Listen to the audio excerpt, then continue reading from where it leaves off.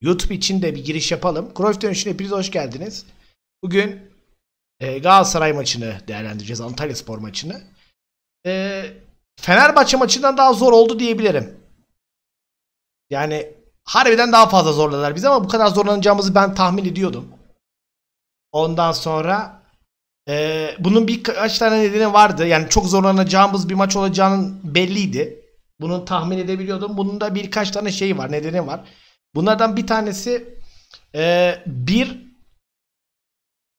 maç öncesinde Galatasaray Kulübü yönetimiyle Fenerbahçe Kulübü yönet yani yönetimi e, arasında çok fazla şey oldu. O ona laf soktu, o ona laf soktu falan filan birbirlerine girdiler. E, şimdi lider olduğun için e, şimdi geriden geldiğin zaman belki bunu hakem e, nezdinde lehine çevirebiliyorsun ama lider isen e, lider isen bunu aleyhi olarak sana geri dönüş yapıyor. Yani işte sana en yakın olan rakibinle kavgaya tutuştuğun anda ve tartışma kaos olduğunda ve sen lidersen eğer hakemler senin üzerine biraz negatif geliyorlar. İşte bu bir kere olacağı belliydi. Bir. İkincisi 8 maç üst üste bir galibiyet serimiz var. Her galibiyet serisi bir sonraki seri için zordur. Yani Şimdi 9 oldu. 9'dan sonra 10 olacak. Ondan hep böyle her maça bundan sonra artık zor. Yani Ga- Galatasaray için. Ee, bunun bir zorluğu olacaktı. 2 e, 3 Antalya Spor çok kritik bir yerde. Ee, onlar için bir çıkış maçı olacaktı. Bu çok net. Bir daha büyük büyük maçı çıkıyorsun. Oyuncular da kendilerini daha fazla göstereceği bir maç olacaktı. Yani bütün bu 3 faktörü göz önünde bulunduğunda hakikaten Antalya maçının çok zor olacağı belli. Yoksa Antalya'ya baktığın zaman hani Adana Demir var, işte ne bileyim Konya var, işte Başakşehir var. Efendime söyleyeyim bir sürü takım var mesela. Hatta Karagümrük bile sayabilirsin buna yani. Puan sıralamasına baktığında. Yani bunlar gerçekten şey diyebilirsin, zor diyebilirsin ama bunlara gerçekten zor diyebilirsin ama problem şu bazen alt takımlarla maç yapmak bir de Antalya Spor'dan bahsediyorum. Çok daha zor olabiliyor. Bu zor olacağını tahmin ediyordum. Hakikaten tahmin ettiğim gibi oldu. Maç hakikaten çok zordu. Zor geçti bizim için. Birkaç tane oyuncumuzun sorumluluk bir tane oyuncumuz iyi fazla sorumluluk alamadı. Bir tane oyuncumuz da çok kötüydü. Çok göze çarptı yani. Onun da oyuna etkisi Galatasaray'ın şey etkiledi. Bunlardan bir tanesi Raşit saydı. Bu maçta mesela çok kötüydü yani hiç beğenmedim hiç e, bu, bu sezon oynadığı oyunlar gibi bir performans vermedi. Bu bir. ikincisi e, bir tanesi Sergio Oliveira aslında iyi olarak gözükse de kendi standartının biraz aşağısındaydı. Yani orada Torreira çok e, önlü arkalı önlü arkalı iki kişilik oynadı. E, yani burada mesela Torreira'ya ben 10 üzerinden 8'lik oynadı desem Mertens'e 10 üzerinden 6.5 derim. E, Sergio da 10 üzerinden 6. Yani aslında yani aslında Sergio 10 üzerinden 7, Mertens de 10 üzerinden 7 oynasa, Torreira'yı da 8'lik oynamak zorunda kalmasa, 7 oynasa aslında herkes iş iyi olurdu ama dediğim gibi yani Sergio çok fazla sorumluluktan kaçınca orta sahada e, iş kanatlara bindi. Tabi burada Antalya Spor'un oynattığı oyun planı da çok etkili. Çünkü Antalya Spor da genellikle merkezi bütün merkezi tuttu. Çok fazla galiba açıkla oynamadılar yani. İşte Nakajima vardı, Admir Mehmedi hep genellikle bu oyuncuların hepsi iç, iç tarafları çok iyi tuttu. Sayısal üstünlüğü orada Antalya Spor lehine oldu. E, onun için de birazcık o Sergio'nun da Mertens'in de performansı düşmüş olabilir. olabilir. İşte orada yapmamız gereken iş e, Sergio ki Galatasaray'ın bu bu zamana kadarki bütün maçlarda e, Sergio ve Sasha Boye'nin olduğu kanat onlar için çok şeydir yani. iyi bir hücum silahıdır sağ kanat. Yani topu sağ kanada indirdiğin anda Rashista'nın e, half space e, şeyleri deki etkinliği, Sasha Boye'nin çizgideki etkinliği, aralara Mertens'in onların yanına doğru koşu atması ve gelmesi, alver yapmasıyla beraber bunlar Galatasaray, bu buradan Galatasaray iyi goller buluyordu. Ama Raşisa'nın da Boye'nin de ve Boye'nin de biraz tutuk başlaması ve topu kanada atarken e, Raşitsa'nın da formunun çok kötü olması bu maçta iyi değildi. Galatasaray'ı zor anlar yaşattırdı. Antalya Spor'u konuşacağız şimdi. Galatasaray'ı konuşacağız. Ondan sonra e, Cruyff dönüşü bitecek. Ama tabii Twitch'ten izleyenler, bu YouTube'dan izleyenler için bitecek. Twitch'ten izleyenler yayın devam ediyor. Gündemle futbol menajerde sıkıştırırız bu gece. Şimdi Antalya Spor özelinde benim söyleyeceğim bir oyuncunun hakkını vermem gerekiyor. Nakajima ya, mükemmel oynadı. Ya ben mesela gerçekten bu maçtan sonra e, Hacı Wright bu maçta yoktu ama Hacı Wright Antalya Spor'un forveti. Hacı Wright'ın arkasında, forvet arkasında daha serbest rolde. Bundan sonra ligin bütün geri kalan bütün maçlarına Nakajima'yı oynatırdım. Nuri Şahin'in yerinde olsam. Muazzam oynadı. Ya Nakajima yani o nasıl bir oyun şekli ya? Nasıl bir motivasyonla sahaya çıktın abi sen? Ne yaptılar yani? Bizim takımımızda, bizim kulübüm yani ne Antalya Spor'daki hocaların, antrenörlerin sana ne dedi yani hani bunlar şey mi? Galatasaray kulübünün içerisindeki bir oyuncu zamanında atası deresi Hiroşima'ya atom bombası atanların atası mı dedilerdi. Sen çıldırdın bu kadar top oynadın. Ya başka bir açıklaması olamaz yani. Öyle böyle bir oynamadı yani. Ya at bir Mehmet'i yok. Oynayanlar arasında. Larson genellikle Sasha Boya'ya kademeye geldi. Abi hani Torreira'ya nasıl söylüyoruz iki kişilik oynadı. Nakajima üç kişilik oynadı. Önde oynayan Luis Adriano da patates. Ya adam hem yarı kanat, yarı forvet arkası, yarı forvet oynadı. Ya inanılmaz bir performans. Nakajima bir. Mükemmel bir performans. Antalya Spor'un puan durumu şimdi çok kritik. Yani bayağı az sıralarda Nakajima'yı sakatlık falan geçirmezse iyi oynarsa Antalya kümeye düşmez. Antalya kafası rahat olur. Çok, o kadar net yani. O, ama dediğim gibi yani sakatlık geçemez ama zaten Nakajima'yı da biliyorduk. Yani Porto'da oynamış bir oyuncu. Porto'yu transfer olmuş bir oyuncu. Kalitesini biliyorduk. Ee, ama bu sene tutuk başladı. Bu maçlara şov yaptı yani. yani tutuk başladı sakatlık galiba çünkü bayağıdır oynamıyordu. Görmüyordum çünkü. Bir diğer isim Antalya Spor'da oyuncular üzerinden gidiyorum. Bir diğer isim kaleci. Ya abicim sen nereden çıktın ya? Kafayı yiyeceğim. Ya Sasha Boye'nin bir topu tuttu. Bir topunu tuttu. Yani balık ya bal diyebilirim. Refleksler mükemmel. Yani ulan ne ballı adamsın diyeceğim. Ağzım el vermiyor. Yani inanılmaz bir refleks. Çünkü yani o bal değil belli. Elini bir anda langırt diye kaldırıyor. Ya hocam iki gün sonra gelseydin ya Antalya'ya. Ya çok mu zor ya Alper bir şey söyleyeyim mi? Kaleci Alperen Uysal olsaydı yemin ediyorum Galatasaray ilk yarıda dördü çakmıştı götü göndermişti. Hatay spor maçı gibi olurdu. İnanılmaz bir adam ya. Ya Fenerbahçe Ali Koç.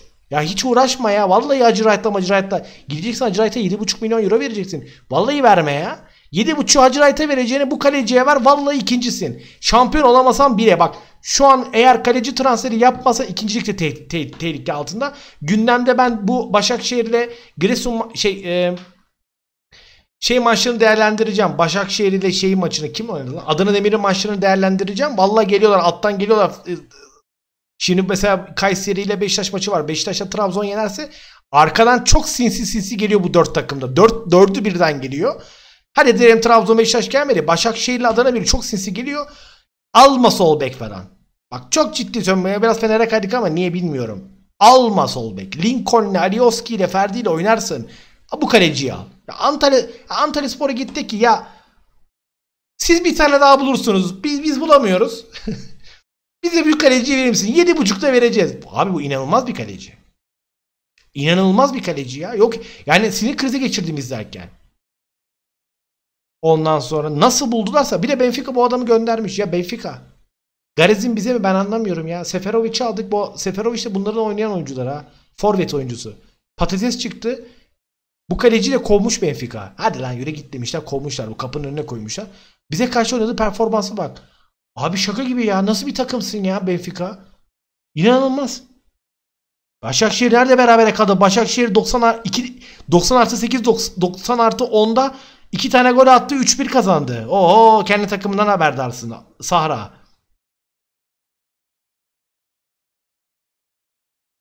90 artı 9 90 artı 10. Başakşehir iki tane gol attı kazandı. Neyse. Kaleci mükemmeldi. Mükemmeldi yani. 10 numara 5 yıldızdı. Nakajima mükemmeldi. Ee, Antalya Spor'un eksikleri vardı. Antalya Spor belli taktiği çalışmış. Ee, orta alanı iyi tuttular. 4-2-3-1 gibi çıksalar da bütün orta alandaki e, yani 4-2-3-1'deki o 2-3 yani o beşli hatta Luis Adriano'yu da geri getirdiler. Altılı baya merkezi öyle bir kapattılar ki hiç çizgiye basmadılar. Sadece galiba Larson Boye ile oynadı. Yanlış hatırlamıyorsa. Ya bayağı birebir oynadılar. Yani Boye nereye kadar gittiyse Larson'un peşinden gitti. Adriano, Nakajima e, orta sahada oynayan oyuncular iki merkez orta sahası da öyle. Admir Mehmedi de öyle. Admir Mehmedi Kerem Aktürkoğlu çok içeriye gelerek oynadı. Sergio ile Mertens e, patates olunca e, o da çok içeri gelince Mehmedi de onu takip ettiği için o da çok içeriye geldi. Yani Mehmedi, Nakajima şey e, Luis Adriano iki merkez orta saha. Hepsi merkezi öyle bir kapattı ki Mertens Sergio gitti yani. Ondan sonra ona iyi çalışmışlar. Ona iyi çalışmışlar. Ben oyunu sevdim. Ee, ama şeyi beğenmedim. Yani Nuri Şahin gibi bir direktörden de bunu görmek beni üzdü. Abi kaleci her topu aldığında 50 saniye bekliyor. 60 saniye bekliyor. E, kaleci en son topu aldı. Bekledi. Ben uyumuşum. Sonra Yemin ediyorum Galatasaray taraftarının ses, ıslık sesine uyandım. Şöyle bir baktım lan ne oluyor falan filan diye. Adam hala kullanmamış. Ya abi yani tamam bunu mesela kaşarlanmış teknik direktörler 50-60 yaşına gelmiş kaşarlanmış antrenörler yapıyor bunu anladık da. Nuri Hoca yakışıyor mu sana gözünü seveyim ya. Allah aşkına ya. 60-70 saniye top maçın girmesi bekledik. Hakemin verdiği şey uzatma dakikası ayrı bir rezalet. Hakeme zaten geleceğim. Dur. Ama yani bak her şeyde övelim eyvallah. Ama abi yani gözünü seveyim. Nuri Şahin sen yapma bari ya. E ne oldu? Kazı kaybettin yine. Ya, yapma abi ver top. Ya top sahada kalsın bırak oynamaya çalışın abi ne olacak? Ondan sonra Antalya Spor'la ilgili bir eksiği de şöyle söyleyeyim. Bir eksiği de transfer yapacaklarsa yazın ya takımda fena oyuncular yok. Larson, Nakajima işte ne bu maçta yoktu. Fernando falan da var. Neyse Erdal rakibi falan da aldılar şimdi o transfer olarak. Ondan sonra stoper alsınlar. Çok net söyleyeyim yani Antalya Spor'un ba- bağırta bağırta en eksik bölgesi hakikaten stoperler Veysel zaten Luyendama'yı kiralık gidecek zaten istemiyorlardı. Yedek tutuyorlar e, Veysel'le Ömer Toprak ikisi de o kadar kötü ki. Şimdi Galatasaray karşısında kapanıyorsun. Yani çok kapanan ve e, birbirlerine yakın oynayan bir takım olduğun için çok sırıtmazlar. Ama abi yani geniş alanda oynamaya çalıştığında ligin diğer maçlarını sallıyorum. Sen Giresun maçına gittiğinde Antalya Giresun korakor mücadele ettiğinde Ömer'le Veysel oynayamaz. Ya Ömer Toprak bir kere ayakları yok. Yani ben her pozisyonda görüyorum Ömer Toprağı. Kuvayi Milliye fedaileri gibi böyle yani atıyor topunu artık hani ayak o kadar gitmiş. Galatasaray tam böyle kaleye bakıyor şut çekecek şöyle atıyor adam kendini topun önüne atıyor. Siper alıyor yani. O kadar top yok.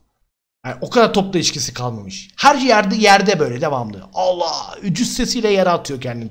Topun önüne atıyor. Veysel birazcık daha ayakta durmasını biliyor. Sana Icardi'nin birkaç pozisyonunda e, direkt kademesine Veysel girdi.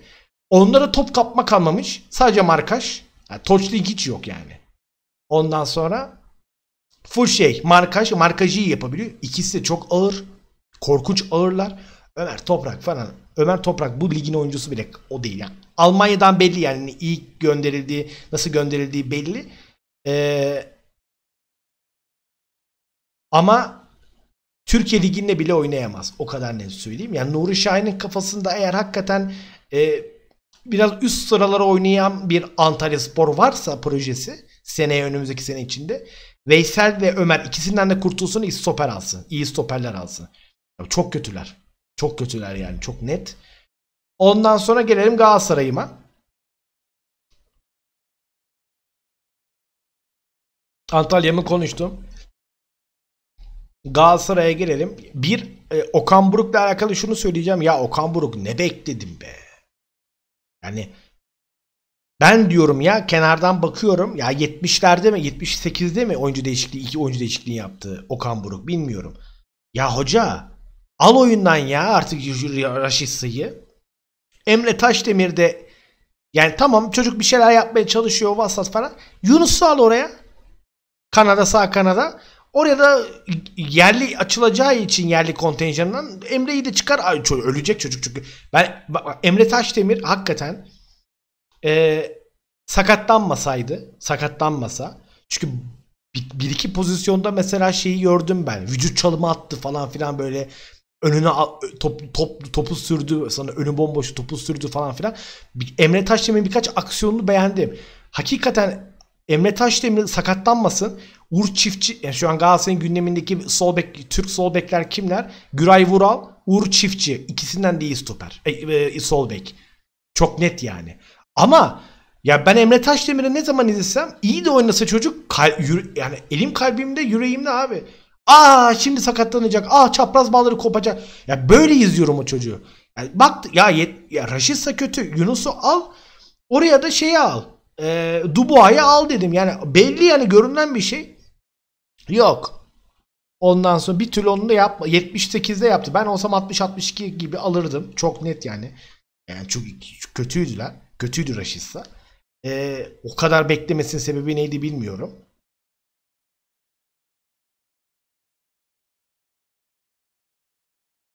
Ondan sonra mesela evet çok doğru söylüyorsun. Güray 7 bitirdi. Mesela biz Raşitsa'yı neden severiz? Raşitsa daha böyle ters ayaklı kanat oyuncu gibi oynamaz. Yani işte ne bileyim Yunus Akgün gibi veya başka oyuncular gibi, Fegoli gibi falan filan bir sürü örneklerini veririm. Onlar gibi değil. Daha çok sağ ayaklı bir oyuncu ve sağ kanatta oynuyor ve nedir özelliği? Savunmaya katkısı iyidir Raşitsa'nın. Abi Güray bir çıktı. Şimdi Sasha Boye bakıyor abi sol taraftaki adam Sinan Gümüş girdi sonra da oyuna. Larson bir de vardı ilk yarıda. Şimdi eyvallah onu marke ediyor. Ama Sasha Boye şeyi de görüyor. Lan buradan yanımdan Güray fırladı. O gidiyor. Otoban yaptı. Orada normalde yapması gereken şey şu. Raşitsa'nın orada takip edeceksin. Güro'yu takip edeceksin. Çünkü senin olayın nedir? Sen savunmaya katkı veren bir kanat oyuncususun. Çizgiyi de kullanabilen bir oyuncusun ve bek oradan çıktığında o beki takip edeceksin. Hiç takip ya savunmada da kötüydü, hücum aksiyonlarında da kötüydü. Yani çıldırdım. Tamamen çıldırdım. Galatasaray'da ondan sonra beğendiğimiz Icardi ne yapıyorsun? Harbiden aşkın olayım ya.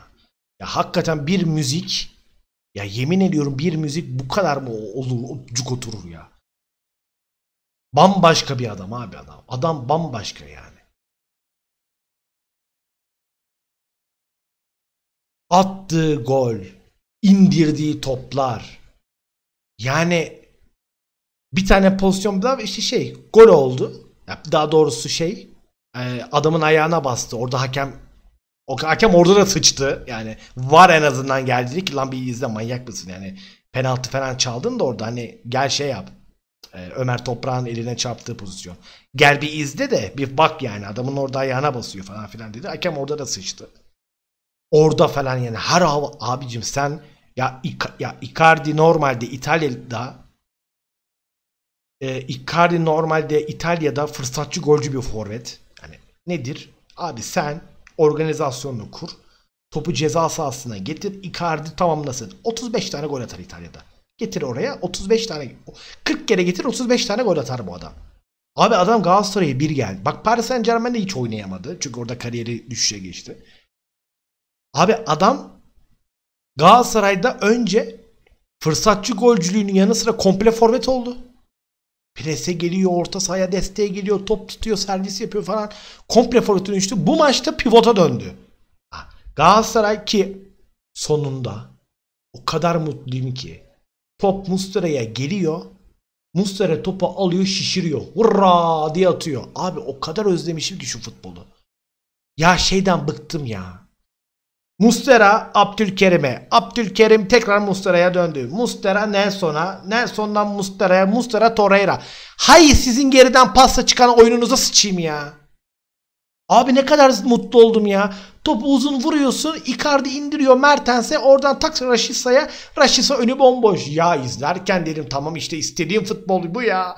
Abi istemiyorum ya. Kısa pasın Allah belasını versin ya. Çünkü niye? Pres yapıyorsun kaptırıyorsun. Bir tane var Galatasaray'ın ilk yarıda. Bir kere pasta çıkmayı denedi. Ya Nelson, Abdülkerim, Torreira bak üçlüye bak ya. Bu takım bile yap hata yapabiliyor yani. Düşün yani yani. Ulan yani bu üçlünün dışında sen kim alacaksın bu oyunu oynayabilmen için? City'den şey getirelim o zaman yani. Rodri'yi falan getirelim falan işte. Akanji'yi falan getirelim. O, o yani hata yapmayacak. Onlar bile hata yapıyor Premier Lig'de. Neyse. Ya vur ileri gitsin ya. Vallahi billahi vur ileri gitsin ya. Aynen öyle. Harry Kane gibi oynuyor adam. Harry Kane gibi oynuyor adam. Takımı da oynatıyor. İnanılmaz bir adam yani.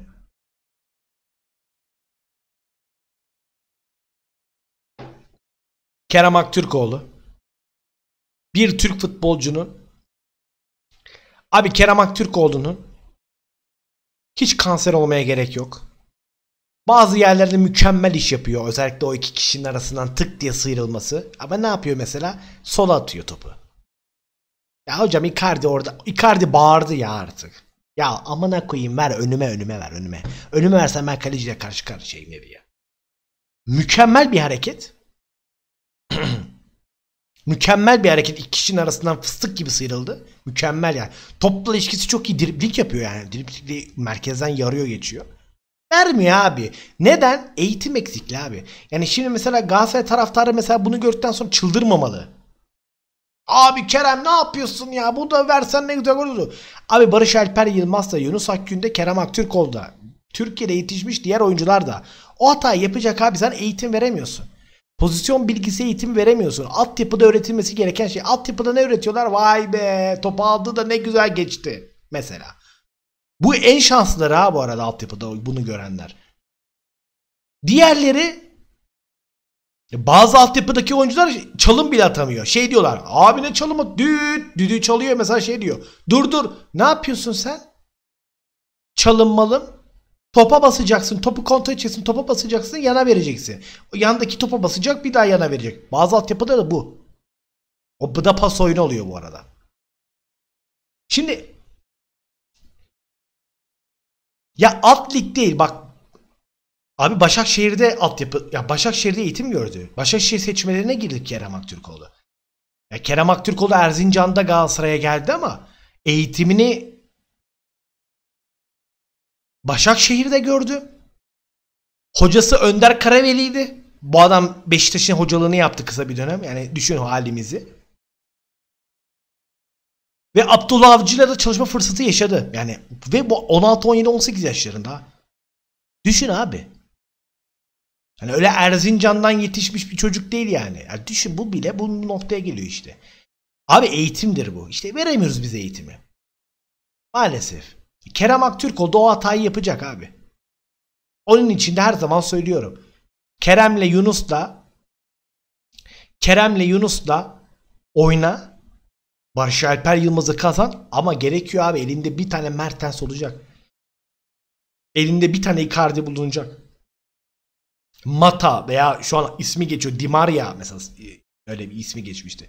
Alacaksın abi bunları. Alacaksın bunları yani. Ve olabildiğince bu oyuncuları Türk oyunculardan bahsediyorum destek olacaksın. Hata yaptı çıldı. Bak orada Icardi'nin önüne atmadı. Ben burada öldürdüm kendimi. Çıldırdım böyle buralarımı yırttım falan dedim. Ne yapıyorsun sen? Yapacak bir şey yok ama. Fıtrat yani. Olay bu yani. Birçok Avrupa Avrupa'ya gittikleri zaman bu oyuncuların oynayamamalarının sebebi de bu. Eğitimsizlik. Ya adam diyor ki mesela ya Örneği torrentten vereceğim. Düşün yani. Domenek Torrent ha. Yani neyse. Domanek Torrent'i geliyor. Galatasaray'da işte maçlara çıkıyor falan filan. Aytaç Kara'yı hata, hat- hatırlarsın 6 numarada oynatıyordu Aytaç Kara'yı. Aytaç Kara, Emre Kılınç. Emre Kılınç'ı da merkez orta saha gibi oynatıyordu. Taylan, Maylan falan onlarla oynuyordu. Ya adam şunu söyledi. Ana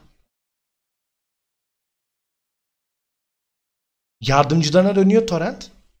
Oğlum bu aynen adamın söylediği cümle şu bak. Diagonal pas vermeyi bilmiyor oğlum bunlar. Cümle bu bak. Yani diyoruz ya Avrupa'nın ne kadar gerisindeyiz. yani bıraktım bütün yabancı hocaları bak. Dominic Torrent geliyor. Dominic Torrent de kimdir? Allah'ın çaycısı. Guardiola'nın yanında takılmış. Barcelona'da, Bayern Münih'te, Cartçut oralarda. İki pas futbolu falan bilir ama yani böyle talebesi gibi şeyin Guardiola'nın yanında durmuş bir adam. Ya adam diyor ki oğlum bunlar pas atmayı bilmiyor lan. Diagonal pas nedir bilmiyor. Ya düşün yani. Ya Bu kadar eğitimsiz bir topraklarda Kerem Aktürkoğlu'nun yine o iki kişi arasından sıyrılıp da driplinglerle adam eksiltmesi falan müthiş iş. Ha, son pas hatası son pası yapamaması da artık yapacak bir şey yok. Onu öyle mağazu göreceksin. 3 kere geleceksin. Be- mesela 5 kere gelecek. 3 tane Kerem kaçıracak. Yapacak bir şey yok abi. Yapacak bir şey yok. Ondan sonra bir, bir tane pozisyon vardı içim acıdı. Topu yine Emre Taşdemir'le soldan çok güzel getirdik. İçeriği de çok güzel çevirdi. Çok güzel çevirdi çocuk. Abi topa Sergio ile Mertens geliyor tamam mı? Hiç fark etmez bak. Kaleyi gömecekler. O topu öyle bir vuracaklar ki hadi yiyorsa kaleci kurtarsın bir daha o topu. Abi topu Kerem'in elinde kaldı ya. Sonra Kerem sürdü sürdü sürdü sürdü. Vurdu kornere gitti. Abi kafayı yedim ben orada ya. Ya Mertens de olur Sergio da olur. Birisi vursaydı o topa goldü ya. Bir de böyle şanssızlıklar da var. Çok olmadık yerde olmadık oyuncuya geliyor falan böyle. Ya inanılmaz ya.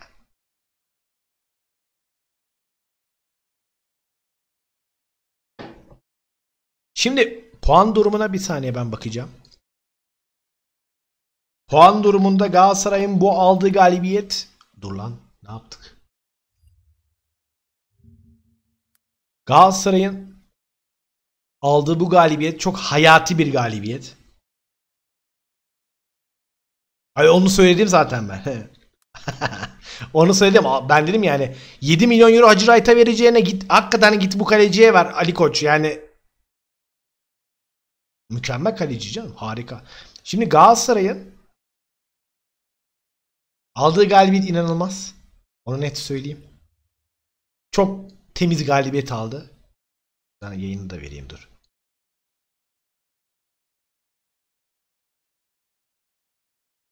Onu buraya alsak.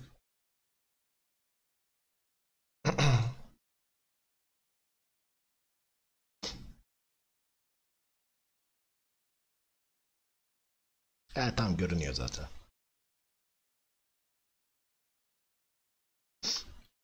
Şimdi bak evet Giresun da çok önemli. Giresun da çok önemli. Ama bu maçın önemi şu. Hemen söyleyeyim. Çünkü şöyle bir şey var. Bu hafta Başakşehir'de e, şey Adana Demir'de yendi. İki maçta da gündemde değerlendireceğim. Birkaç söyleyeceklerim var o maçla alakalı. Abi bak Galatasaray şu an 45 galibiyeti aldı. Şimdi buradan beraberlik bile alsaydı 42 puandaydı. 43 olacaktı. Tamam mı? Beraberlik alsaydı 43. Bak, bak Fenerbahçe 38. Bir maç eksiği var. Yar, yarın oynayacak. Başakşehir 37. Adana Demir 34. Ee, Beşiktaş 2 maç eksiği var 37 32. Trabzon 32. Şimdi Beşiktaş'ın 2 maç eksiği var. Şenol Güneş öyle yaptı böyle yaptı. Gak kuk gak kuk yaptı. 2 maçta bir galibi biri beraberlik tamam mı? Öyle düşün. 32. 35 36 olacak. Hoppa buraya kadar gel buraya kadar geldi. Adana Demir'in yerine geldi 36 tamam mı? O da hani bir yerde puan kaybetti diye düşün. Ee, Trabzon yarın yendi diyelim 35. Bu kaç dedik bunu 36 mı dedik? Şimdi bak Fenerbahçe 38. Başakşehir 37.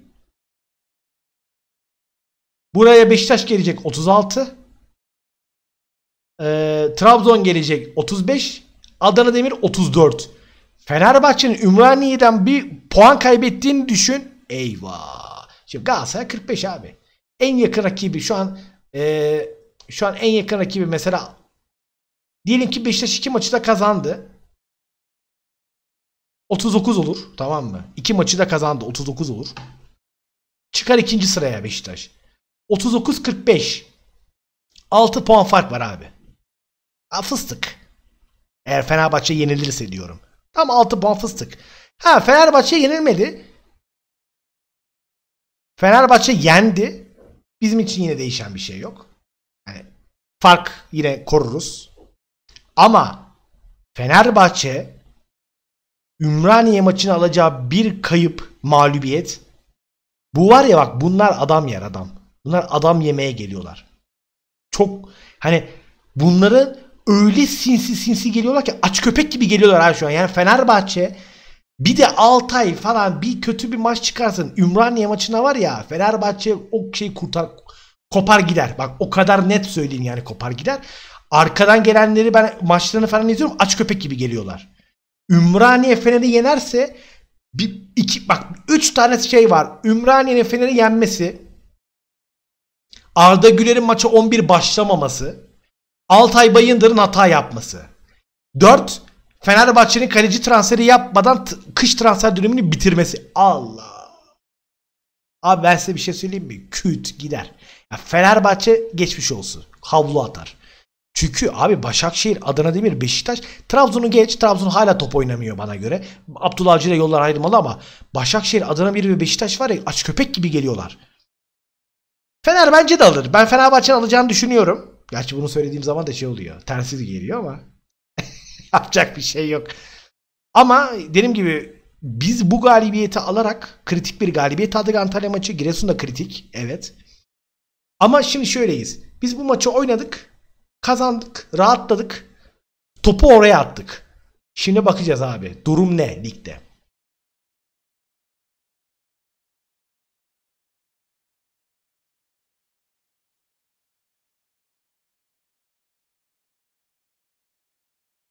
Yok abi Altay Bayındır'a çökmeye gerek yok. Hiç gerek yok hem de.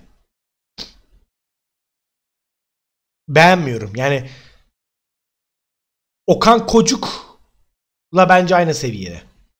Çok ciddiyim. İkisi de güven vermeyen kaleci. Okan Kocun mesela bir tane pozisyonu var. Hangi maç hatırlamıyorum. Tak ayağıyla son dakika atsa Galatasaray lider olamıyor. Ayağıyla bir müdahale etti. Kornere attı. Hakem de out verdi. O pozisyonda mesela iyi kurtardı. Ama iyi, bizi iyi kurtardı. iyi kurtardı işte. Yok abi ama hiç şey güven veren bir kaleci değil. Onu oynatacağım çok net söyleyeyim. Karagümrük kiraladığımız Batuhan Şen ile Jankat olsa daha iyi yani. Ee, ne dedi? Giresun maçı çok önemli. UEFA finalindeki finalinden sonra en kritik maç. Bu arada Giresun'da da oyuncular mini takıma gitti. Cezalı olanlar bayağı Giresun bir şey söyleyeyim mi? Giresun çok köy bir takımıyla sahaya çıkacak. E, Kolombiya'ya Kolombiya mıydı lan bunların Latin Amerika'dakiler? İki tane milli takım Kolombiya mıydı bilmiyorum. Latin Amerika'ya iki oyuncu gönderdiler. Bir de stoperleri kart cezalısı. Kırmızı kart yedi. Oynayamayacak. O yönden şey yani eksik geliyorlar.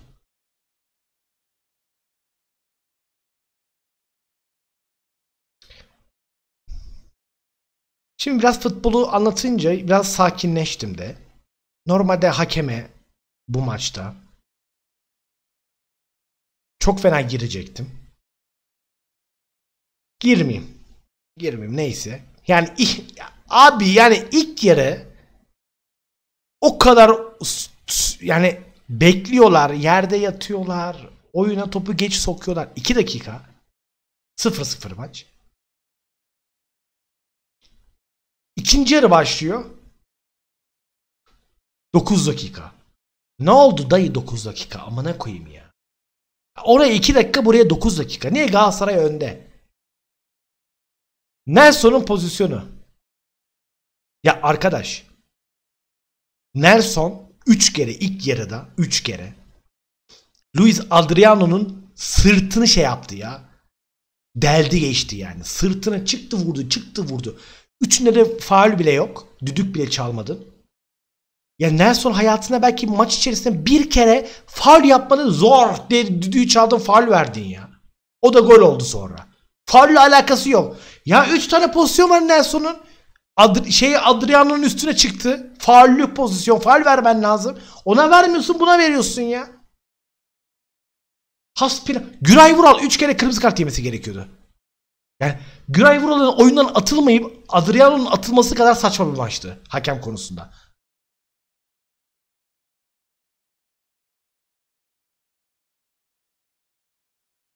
Deli oldum abi. Hakikaten deli oldum ya. Zaten şans alan değil maç alan diyordum ben soy ismini. Hakikaten maç alan bir hakem. Alamadı ama. Alamadı. Bundan sonra bundan sonra çok net bu tarz hakem ha- hakemler şeyinde hakemler konusunda eee, saçma sapan muhabbetler yaşayacağız. Yapacak bir şey yok. Ondan sonra hakkımızda hayırlısı diyeyim. Daha ağır şeyler konuşurdum bazı pozisyonlarla alakalı. Ama sakinleştim. Hakikaten sakinleştim. Çok dengesiz kararlar vardı ya. İnanılmaz yani. İnanılmaz yani. Ama dediğim gibi biraz şeyim. Sakinleşti futbol konuşurken de. Birazcık da tabii galibiyetimizin verdiği sevinç de var. Ee, ondan dolayı hakimin girmeyeceğim. Bir de yayındayım. Onun da bir sakinliği oluyor yayının. Yani şimdi hakikaten ana bacı girsem bende 3 kuruş para yok zaten 3 izleniyorum. Abone paralarım da yok. Şey gelmiyor yani.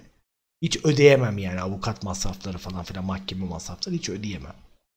Şimdi ben bir çay alacağım kendime. Hemen şuradan bir kaydı durdurayım.